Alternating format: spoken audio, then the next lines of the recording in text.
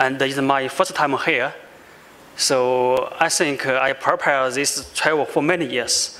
And when I studied in India, I tried to have find a chance to visit here.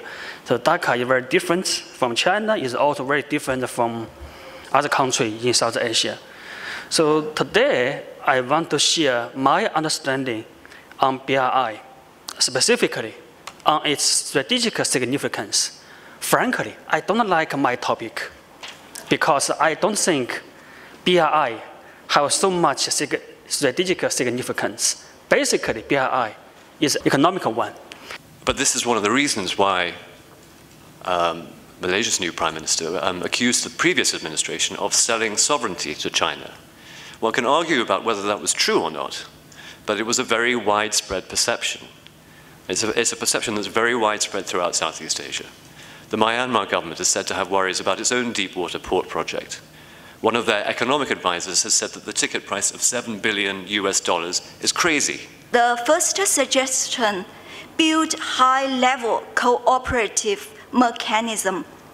We can handle it by those ways as follows.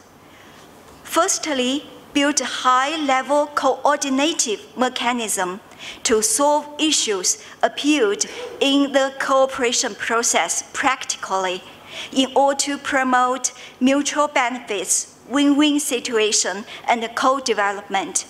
Secondly, build intergovernmental coordinative mechanism. The world is so big, and while the challenges are complicated, and the world is looking for answer from China. China should not keep so provide.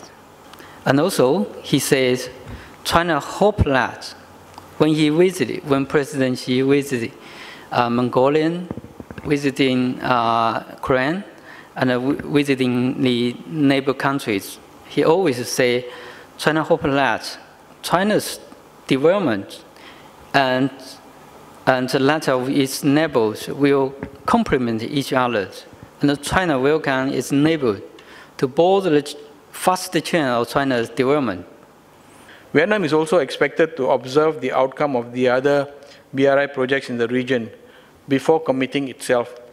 Coupled with its own financial difficulties, as well as thorny issues such as the South China Sea, it looks likely that the BRI will face significant challenges in Vietnam in, the, in time to come. So what are the contradictions thereof? Because apparently, uh, as I mentioned yesterday, both BRI and these initiatives, regional cooperation initiatives, uh, have similar objectives. States will need to band together and say, this is the way forward. Uh, we can't rely on India.